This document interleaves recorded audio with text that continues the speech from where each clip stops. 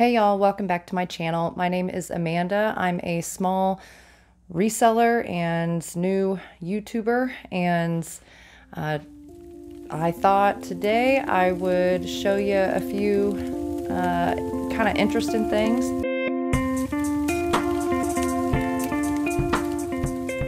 I have a few items that I'm not I'm not entirely sure what to do with. One of them really really not sure what to do with. But I'm hoping some of you guys maybe have some ideas. Possibly somebody's encountered something like this. Maybe. We'll see. Uh, anyway, so we'll get started. Uh, first thing I'll show you guys are the Coca-Cola things. And when I was getting out this sign, I also uh, found a couple other things here that I thought you guys might like to see. So take a good look at this Santa guy here, okay? And I'm going to show you how I know that photo, which is an actual photo, it's not a copy, but uh, a photo I can date accurately to the 50s. And this guy here,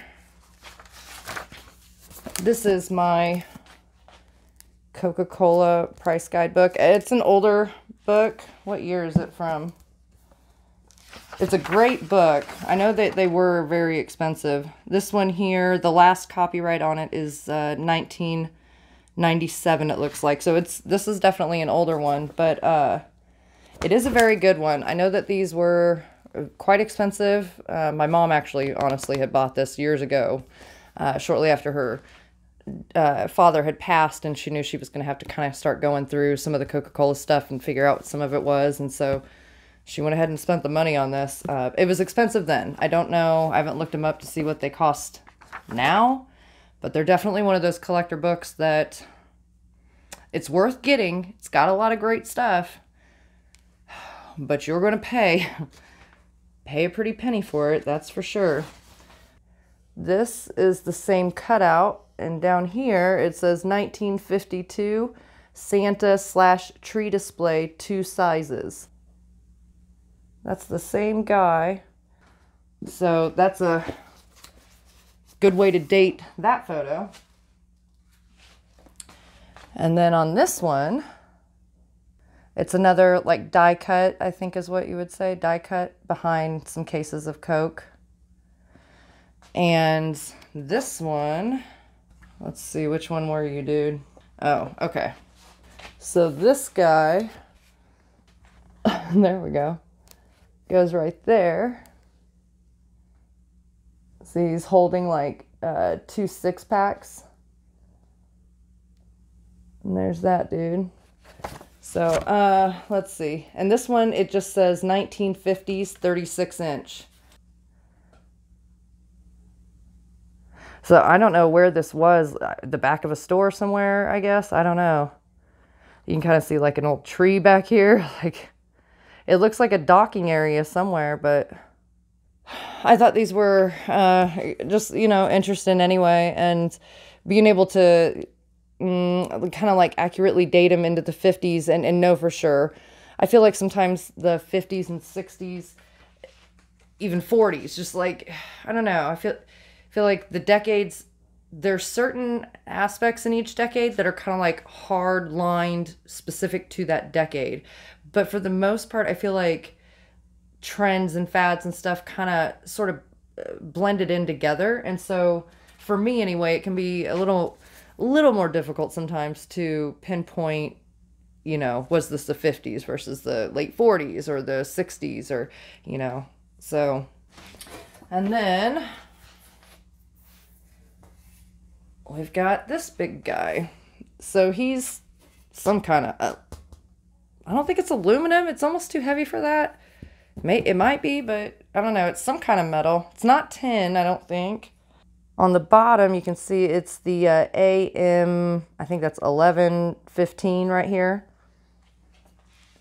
So that would be its, I don't know what the right term is, model number, I don't know. Whatever the term is for that, that's what that is. But you can see it's kind of got that old script. Uh, so this guy here, let me show you this side. He's got you know, slight minor wear, you know, here and there. I, I don't know that I would necessarily say he's like brand new, complete mint condition. I don't know that I would go that far, but he's pretty dang close. He's pretty dang close. You know, he's got some mild scratches up here and stuff, but I mean, come on. You don't you don't find them like this terribly often. So uh, a, a cool piece for sure. And then I was able to shockingly find this guy also in here and it says 1950s with bottle flange signs. So this guy also dates to that. Now it says in here it's a $700. The one I have says $500. I think those, anytime you look in a price guide, I don't care if it came out this year. look at it uh, not as that exact number as the current value, but it's a good way to still identify with some degree anyway the not value of an item but which ones are more valuable? Which ones carry a higher value no matter what that value is today but they're the more sought after pieces. And that's the way you should look at any val- value guide any price guide any of that. I don't care if it sold for x amount yesterday. It doesn't mean that's what you'll get today. And so the rule of thumb is things are only what somebody will pay for them. You can get a feel for what that amount could or should be, but there will never be a guarantee. So I just always like to caution people when they look in things like this. This is an excellent resource to uh, identify things. This is an excellent resource to kind of see which things tend to be more valuable than the others that are similar to it. But this is not a guide where you can look at it and say, oh, it says $500 and list it for $500. I mean, you can, you can. it, you may be way off. It may be worth a lot more today. You know, you still want to do some investigating. And I feel like most people know this. I feel like maybe I probably don't even have to say this really, to be honest. But just in case, and I think it's a good reminder, I think, for everybody, because it's easy to kind of like see a number and get carried away with something, but it's always good to look up what today's comps are. You know, I told you this book was printed in 97.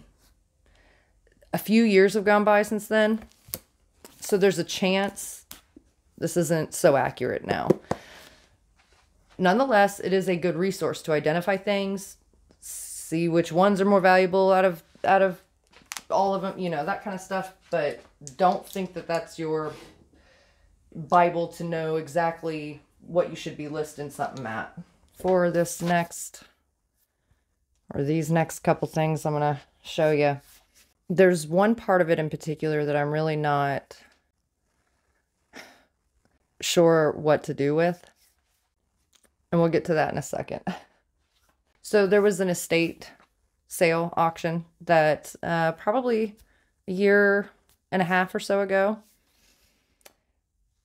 I had gone to. And I think uh, in total at this auction I had spent three or four hundred dollars. And but it was like a lot of stuff. And every lot I had gotten was, you know, probably ten dollars or less, twenty dollars or less but for the most part, they were super low dollar. And I got a lot of pretty darn good inventory with it. The downside of it was that I also, you know, of course, when you buy in auction lots, you take on whatever else is in the lots. And so a lot of the extras, what would have been considered extras, weren't necessarily high dollar items, but uh, fun uh, neat things that still would sell decently well, even if it was for a lower price, but nonetheless, they would move. Then there were some things in it that I'm just not, I don't know. I don't know. Let me just show you. Let me stop. Let me stop talking about it and I'll just show you. Okay. This here is something that came extra in the lot. Well, son of a monkey. Let me try to get it to where I can show you. There we go. Okay, so I don't know if you guys can see, but on here it says, what does it say? May 1954. And then you can see on here there's like honeymoon written on, you know, this part up here. Uh, of course, you got like some artwork. Uh, what else is in here? December 4th, 1954. Rice thrown at wedding. Uh, there's, you know, like little newspaper cutouts and marriage license. So here was their marriage license. Uh, then there's this little poem thing here. I know a smile I love to see, a voice I love to hear. I know a hand I love to hold, a presence I love near. I know a heart, a loving heart that's thoughtful, fine, and true. I know them all and love them all, for they belong to you. And, you know, like, like this is their actual photo. This didn't come with the frame. This, what well, did, but, you know, like I didn't buy it at the st- store with this in it.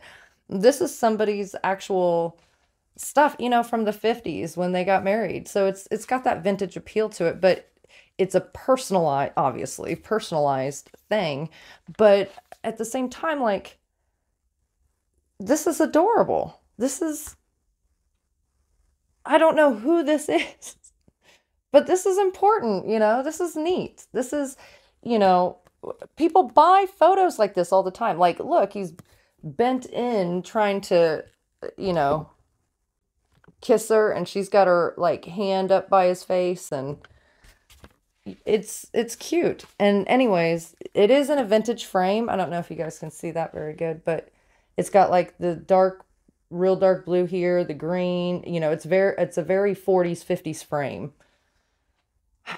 Uh, it does have some mild, like occasional scratches and stuff on it, but it's otherwise in good shape. And oh, I put this tape on here because uh, I took the nails out of it to investigate what was all going on in here. But anyway, I mean, even behind here, this is all like calendar dates. It talks about her uh, you know, like hair appointment when they were going to meet with the, you know, rabbi or pastor or whatever they were seeing. And, you know, I just think that that's really neat. Like, really neat. And, you know, Wednesday, September 4th, twins' 20th birthday, norm to transfer point. I mean, it's just, it's a, it's a, it's a snapshot into somebody's life, but in a, you know, in time periods where we all love to collect and love the history from and things like that. And so, yes, this is personalized. You probably wouldn't get this and, and display it as your own, but isn't this kind of neat? Like, I don't know. I always think like, if, what if you had some kind of shop, a hair salon, I don't know, something and this is something like you could still put up as decor because it's just got that that fun vintage vibe to it, that 50s vibe. I mean, just look at how the artwork is. The old car up here. I think it's cool. I don't know why. I don't know that this has resale value. Don't assume it does because I have no clue. But does it? I don't know what else to do with it other than throw it away. And I suppose I just don't feel right about doing that. Like this this isn't going to hold the importance that it did to this woman or this man. No, like nobody who buys this is it going to have that sort of sentimental value. But it's still neat and I don't feel right about throwing it away because of what it is. I just I don't know. I thought I'd show you guys that and see what your guys' opinions are because it's like I've said before in reselling, you're going to come across a lot of things that you don't know what the hell to do with. You just don't. And I don't know. Is it okay to throw it away? Is it okay to do that? I just don't. I don't know how I feel about it. I don't like it. But is anybody else out there going to even want it? So then I don't know. What am I doing? Because I'm not keeping it for me. So what am I doing? Uh, I'll show them to you one at a time because they're just kind of big. So this paper behind here, I don't, I mean, it might have been original. I don't know. But it's like cheap feeling. I don't think it would have been original to this. I feel like these got put in here maybe.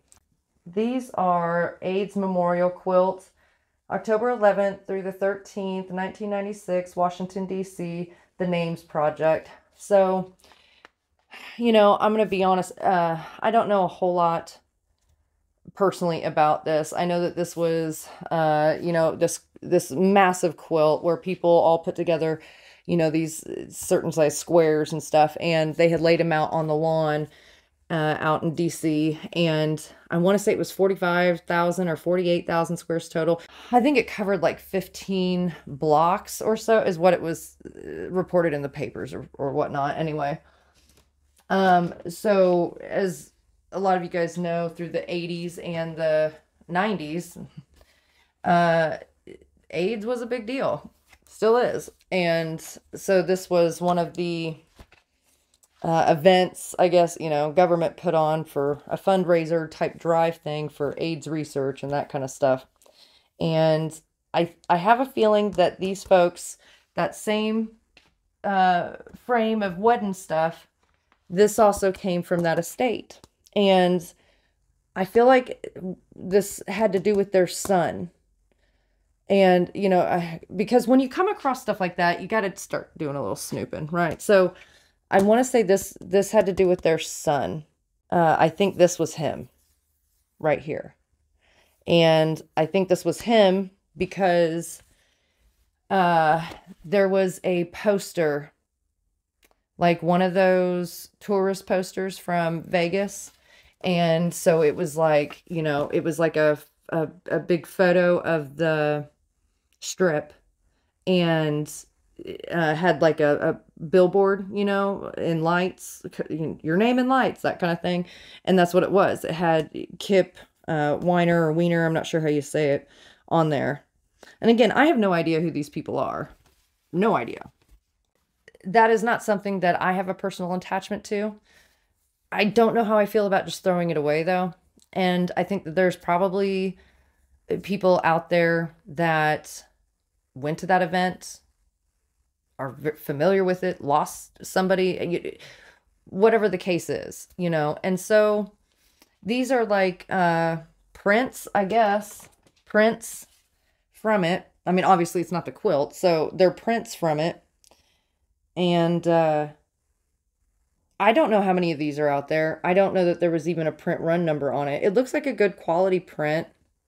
I'm not sure what to do with them. Uh, I did try to look up like the names project, like went on eBay and stuff, and there are some things. Uh, for the most part, it's T-shirts and like uh, little pins. Um, there's some books out there. I guess there were some books written about it, or that you know books about the quilt and about th- this project in particular. I don't know what value I would put on these. You know, so let me ask you this, I guess.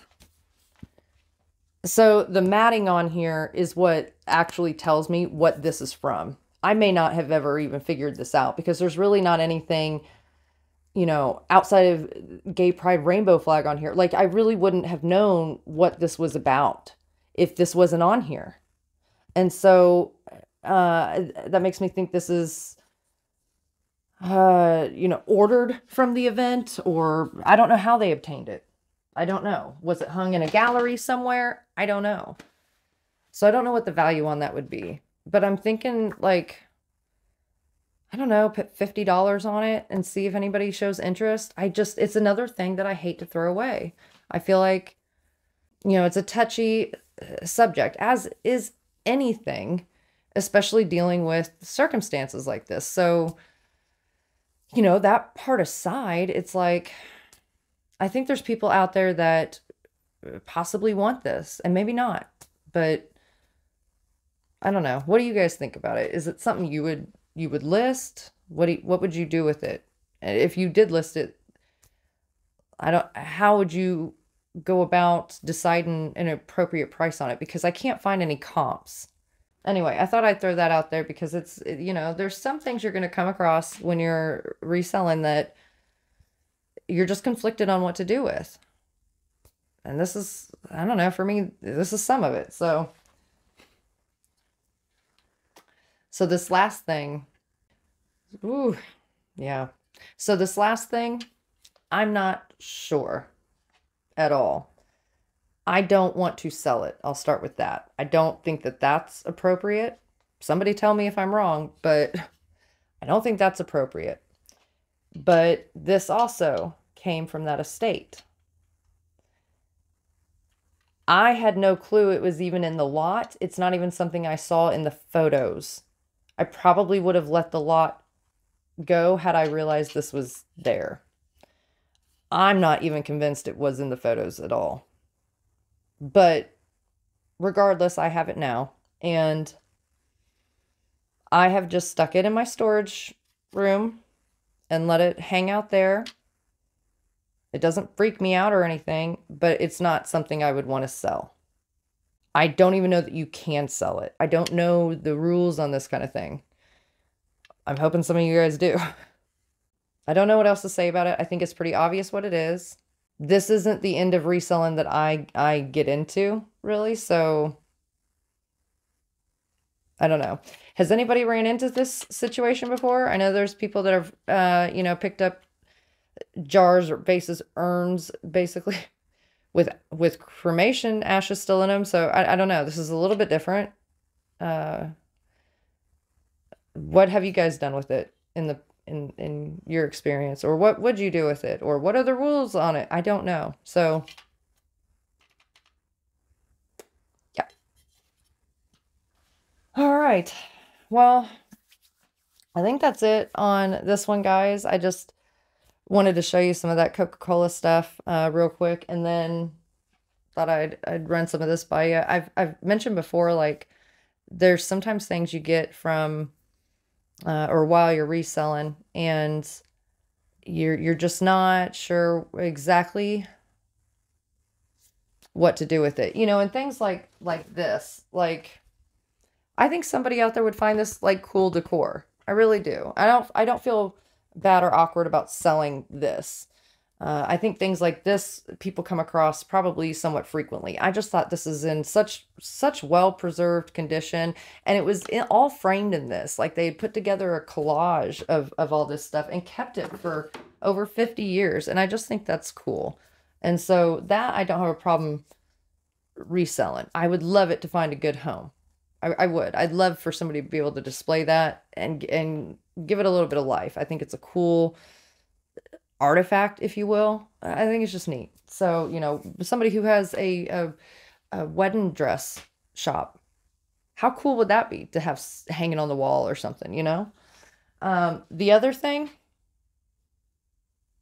I, I don't, I don't have a clue. I am literally, I'm speechless with it. I don't know what what to do with that. So any any advice or thoughts would be well, that would be helpful. So uh, for the um, AIDS Memorial uh, prints, I'm not sure on those either. And you know, are, is that something I should list? Should I not? I feel like I, I could. I, I don't have any problems with listing it. And I, I really, it's one of those things that uh, I, I do think that there's some people out there that would find value in that. And I really honestly don't care what uh, profit would be on it. I those kinds of things I like I like for them to find homes where they're going to be appreciated or or collected or you know whatever. But uh, I'm not as concerned with finding, you know, some big profit on it. So I guess that's where I'm lost on you know, what what's what's a reasonable and appropriate thing for both myself and the person buying it? What would that number look like? Cuz I'm drawing a blank on this. I'm not sure. Anyways, I guess that's it for for now, guys, and uh, I'll have another one coming out pretty soon, I want to talk to you guys about about these guys here a little bit because I'm getting ready to list this dude that I've shown you before. I'm getting ready to list him, and I figured I would make a video, a short video, uh, just explaining to you a little bit more who this artist was and everything, and and then get this stuff listed. I kind of feel like uh, it's a, a necessary thing to do before I list it. So, anyways, I'll get that one done, get it out to you guys soon, and I'll catch you on the next one.